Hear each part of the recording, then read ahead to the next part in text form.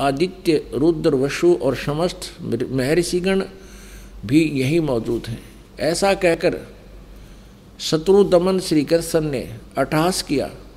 तब तुरंत ही उनके सब अंगों से बिजली सी कांति वाले अंगुष्ठा आकार सब देवता दिखाई देने लगे। उनके ललाट देश में ब्रह्मा वक्षतल में रुद्र भुजाओं में, लोकपाल और मुख में अग्निदेव थे। आदित्य साध्य वसु, अश्विनी कुमार आदि आदि ये सब उनके शरीर से अभिन्न जान पड़ते थे। श्री कृष्ण के इस भयंकर रूप को देखकर सब राजाओं ने भयभीत होकर नेत्र मूंद लिए।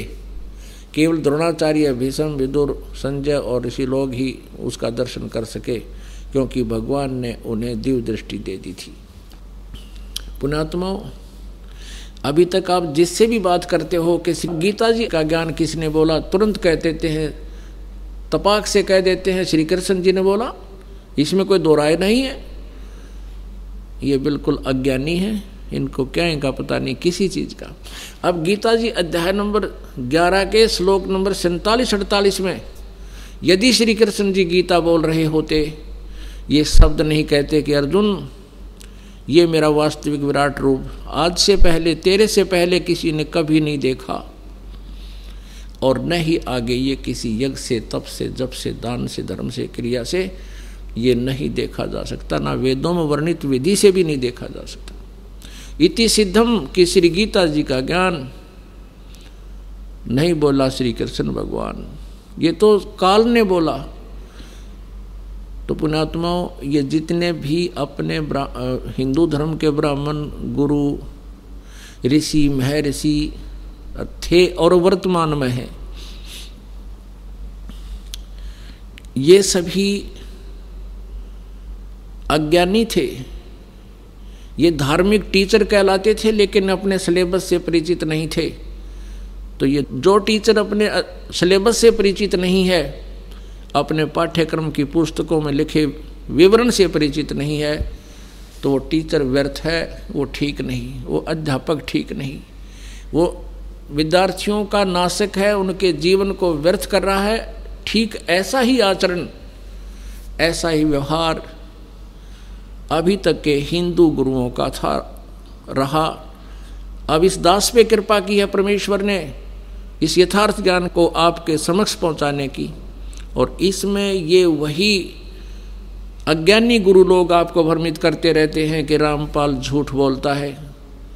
ऐसे ही परमेश्वर कबीर जी के साथ किया था इन लोगों ने। आज से 600 वर्ष पहले लगभग जो परमात्मा सन तेरह सौ पंद्रह तक यही लीला करके गए थे, ये तत्व ज्ञान समझाया करते थे जो आज दास आपको बता रहा है और सभी सदग्रंथों में प्रमाणित है। उस समय के ब्राह्मण गुरु ऋषि जितने भी अपने रोजी रोटी चला रहे थे, वो परमात्मा से एकदम खिन्न हुए और पूरे समाज को भगवान का विरोधी बना दिया था कि कबीर तो अशिक्षित है, ये झूठा है। ब्रह्मा, विष्णु, महेश के विषय में ये गलत उठपटांग बातें करता है। ये वेदों और गीता और पुराणों से परिचित नहीं है, क्योंकि इसको अक्सर ज्ञान नहीं है, ये संस्कृत भाषा नहीं जानता। तो उस समय तो हमारे जो पूर्वज थे भोले भाले थे अशिक्षित थे। उन्होंने इन चतुर लोगों की, इन गुरुओं की बातों को मान लिया कि कबीर जी शिक्षित नहीं है, इसलिए वेदों और गीता के ज्ञान से शायद अपरिचित ही होंगे। और ये गुरु लोग जो संस्कृत जानते हैं और सभी शास्त्र संस्कृत भाषा में लिपिबद्ध हैं, इसलिए इनकी दाल गली रही। ये संस्कृत बोलते रहे, जैसे गीता जी अध्याय नंबर अठारह के श्लोक नंबर छसठ को, ये स्वयं बोलते तो हैं संस्कृत सही, अनुवाद करते हैं गलत। सर्वधर्मान परितजमाम एकम शरणम वरज। अहम तवा सर्व पापे भया मोक्षामी माशुच ये नो का नो संस्कृत तो ठीक बोल देते हैं। अनुवाद करते हैं कि तू सब कर्मों का आश्रय त्याग कर मुझ एक सर्वशक्तिमान शरण में आ। अरे वर्ज माने जाना होता, आना नहीं होता। ऐसे ही आप जी को भ्रमित कर रहे हैं। इन अज्ञानियों से आपने स्वयं निमटना है, इनसे दूर हटना है और यथार्थ ज्ञान को पहचानना है। इसका अर्थ बनता है, गीता ज्ञानदाता कहता है कि सर्व धर्मान परितज माम मेरे सतर की जितनी भी साधनाएँ हैं, धार्मिक क्रियाएँ हैं, जो तूने की हैं, जैसे वेदों में वर्णित ब्रह्म जो है, ओम नाम ब्रह्म का है। ओम नाम का जाप पाँचों यज्ञ, दान धर्म, ये तूने किए हैं। मेरे सतर के मुझमें छोड़ दे। फिर मैं तुझे यहाँ से मुक्त कर दूँगा अपने, अपनी कैद से, अपने जाल से। उसके बाद तू उस सर्वशक्तिमान की शरण में जा। एकम माने अद्वितीय, जिसके समान कोई दूसरा ना हो। अर्थात उस समर्थ उस परमेश्वर की शरण में जा, जिसकी कृपा से तू परम शांति को तथा सनातन परम धाम को, यानी शाश्वतम स्थानम, सनातन परम धाम को प्राप्त हो जाएगा। इससे सीधा गीता ज्ञान दाता। जैसे गीता जी अध्याय नंबर अठारह के श्लोक नंबर बैसठ में कहा कि, अर्जुन, तू सर्वभाव से उस परमेश्वर की शरण में जा, जिसकी कृपा से तू परम शांति को और सनातन परम धाम को, यानी शाश्वतम स्थान को, यानी जहाँ जाने के बाद फिर कभी मृत्यु नहीं होती, उसको प्राप्त हो जाएगा। उसी को सेकंड किया गीता जी अध्याय नंबर अठारह के श्लोक नंबर छियासठ में कि उसकी शरण में जाना है तो सर्वधर्मान प्रीतज माम एकम शरणम व्रज। मेरे सत्र के सभी पूजाओं को त्याग कर तू, केवल उस एक सर्वशक्तिमान की शरण में चला जा। व्रज माने जाना होता है, आना नहीं होता। फिर कहता, तब मैं तुझे अहम तवा सर्व पापे भय मुक्षामी मासुच फिर मैं तुझे अपने जो मेरे लोक में तुझे दंड भोगने पड़ते थे, कुत्ता गदा सुअर बन के, क्योंकि हम क्या करते थे? हम क्या करते रहे? ओम नाम के जाप की जो भी साधना कमाई, जो भक्ति शक्ति बनती थी और यज्ञ धर्म आदि जो हम करते थे, हम स्वर्ग में या ब्रह्मलोक में जाकर उसको नष्ट कर देते थे। हमारे ऊपर ये पापों का दंड ज्यों का तो रह जाता था और हम फिर कुत्ते गदे सुअर बनकर यहाँ कष्ट उठाते रहते थे। अब ये कह रहा है कि मेरे सतर की जो तूने साधनाएँ की हो, मुझे छोड़ दे, फिर मैं तुझे मुक्त कर दूँगा। मेरे लोक में तू रहा है और इसका किरा दे मुझको। तो उसका ये किराया है, इसका ये भाड़ा है, इसके होटल का ये बिल हम चुकता कर देंगे। फिर हमें बंधक नहीं रखेगा ये।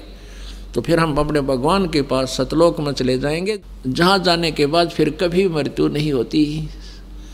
वहाँ सदा युवा शरीर रहता है, ऐसी ही सृष्टि है। आत्माओं अभी तक श्री कृष्ण जी को ये भोले श्रद्धालु और इनके गुरु क्या बता रहे हैं कि ये अखिल ब्रह्मांड का नायक है, यानी सब ब्रह्मांडों का स्वामी है। और फिर ये भी कहते हैं कि ये श्री कृष्ण विष्णु जी ही स्वयं हैं। और फिर ये भी कहते हैं ये कि रजगुण ब्रह्मा जी है सतगुण विष्णु जी है, तमगुण शिव जी है। इनके ज्ञान का कोई आधार नहीं। एक तरफ़ तो कहते हैं कि अखिल ब्रह्मांड का स्वामी जगत गुरु, परमेश्वर, सबका मालिक, पूर्ण अवतार। और फिर किसी ने प्रसन्न किया, क्या ब्रह्मा, विष्णु, महेश जी की मृत्यु होती है? तो चतुर लोग गुरु उत्तर देते हैं, मृत्यु तो नहीं कह सकते।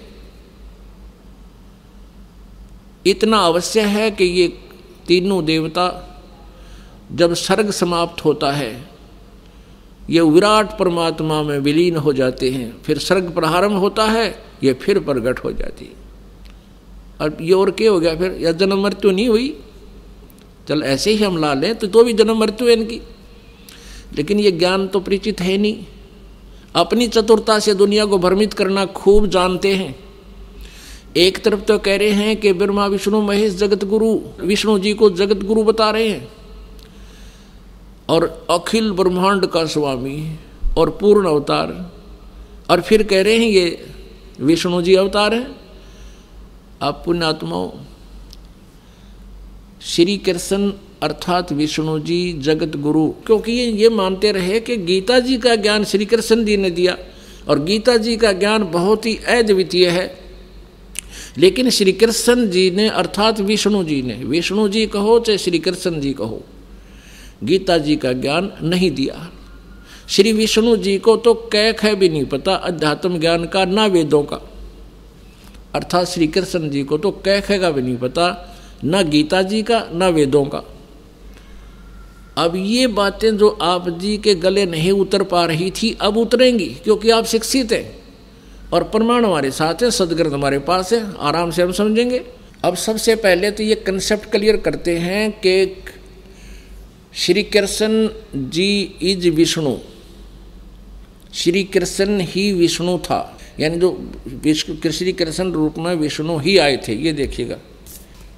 ये देखिएगा मार्कंडे पुराण। मार्कंडे पुराण गीता प्रेस गोरखपुर से प्रकाशित है।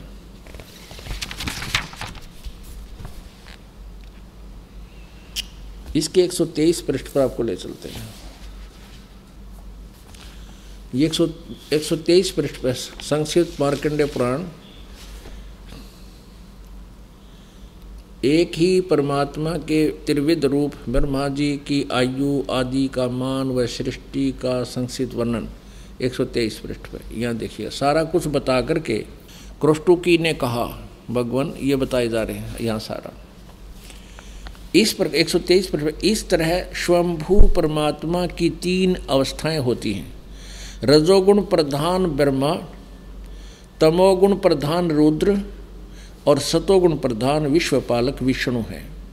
आगे इसमें, इससे तो एक तो ये होगा कि ये ही तीन देवता हैं और यही तीन गुण हैं। ये तो सिद्ध हो गया कि ये तीनों गुण हैं। ब्रह्मा, विष्णु, महेश और रजगुण, तमोगुण, सतोगुण प्रधान भी है और यही तीन गुण हैं। अब आपको दिखाते हैं, श्री कृष्ण ही विष्णु थे, श्री सुधा सागर में। श्रीमद भागवत सुधा सागर गीता प्रेस गोरखपुर से प्रकाशित है।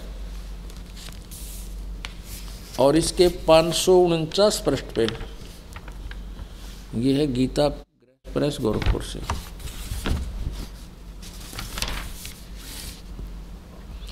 प्रकाशक में मुद्रक है गीता प्रेस गोरखपुर, गोविंद भवन कार्यालय कोलकाता का संस्थान। इसके पाँच सौ उनचास पे आपको ले चलते हैं।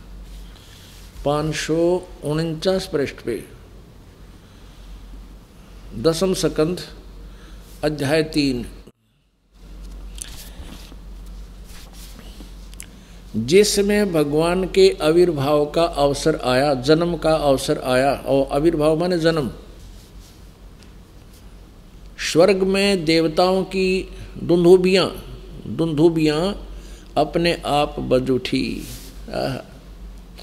उसी समय सबके हृदय में विराजमान भगवान विष्णु देव रूपिणी देवकी के गर्भ से प्रकट हुए, जन्म लिया। विष्णु जी ही श्री कृष्ण रूप में प्रकट हुए। अभी हमने सिर्फ़ इतना ही लेना है कि श्री विष्णु ही देवकी के गर्भ में प्रकट हुए। श्री कृष्ण ही विष्णु है। अब श्री विष्णु अर्थात श्री कृष्ण जी जगत गुरु हैं या अज्ञानी हैं, ये अपने सदग्रंथ ही प्रमाणित करेंगे। देखिएगा। श्रीमद देवी भागवत, गीता प्रेस गोरखपुर से प्रकाशित है। श्रीमद देवी भागवत, संक्षिप्त, सचित्र मोटा टाइप हिंदी, केवल हिंदी। संपादक हनुमान प्रसाद पोदार चिमन लाल गोस्वामी। प्रकाश से केवल मुद्रक है, गीता प्रेस गोरखपुर गोविंद मोहन कार्यालय, कोलकाता का संस्थान। इसके 28 पृष्ठ पर प्रथम सकंद में, पहला सकंद संक्षित देवी भागवत, पृष्ठ अट्ठाईस पे।